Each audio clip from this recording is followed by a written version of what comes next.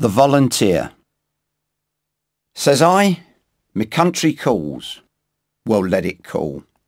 I grins politely and declines with thanks. Go let 'em plaster every blighted wall. Here's one they won't stampede into the ranks. Them politicians with their greasy ways. Them empire grabbers, fight for 'em? No fear. I've seen this mess a coming from the days of Algeciras and Agadir. I've felt me passions rise and swell, but what the hell, Bill? What the hell? Says I, my country? Mine? I likes their cheek. Me mud bespattered by the cars they drive.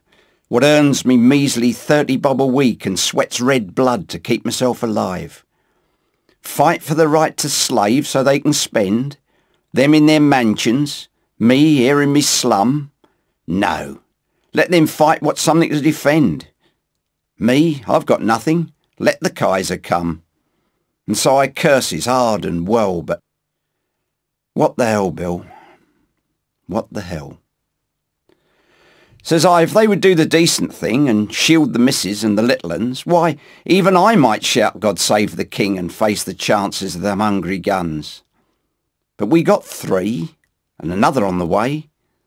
It's that that makes me snarl and set me jaw. The wife and nippers, what are them, I say, if I gets knocked out in this blasted war? Gets proper busted by a shell. But what the hell, Bill? What the hell? Yes, what the hell's the use of all this talk? Today some boys in blue was passing me, and some of them they had no legs to walk, and some of them, they had no eyes to see. And well, I couldn't look 'em in the face. So I'm going. Going to declare that I'm under 45 and take me place to face the music with that bunch out there. A fool, you say? Maybe you're right. But I'll have no peace unless I fight. I've ceased to think. I only know I've got to go, Bill. Got to go.